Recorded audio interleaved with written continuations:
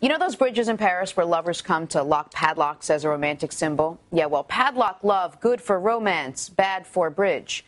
Historic bridges of Paris full of metal locks, romantic. One of the bridges, the Pont des Arts, is now 12 tons heavier because of the extra weight. Not so romantic. So just to recap, oh, it's all fun and games and lovely until the bridge comes tumbling down. City workers now have to go around cutting at least some of them off to protect them. So you know, you you put your padlock on, then you take the key, you make a wish with your loved one, and you throw it into the into the river. You know and what's then more remarkable than those padlocks? Did you hear her French accent? Very Say nice. the name of that bridge again. Le Pont des Arts. Très bien. Ouais, merci beaucoup. Tu parles français? Well done. Eh, Thank you very much. Ah, that's all I got.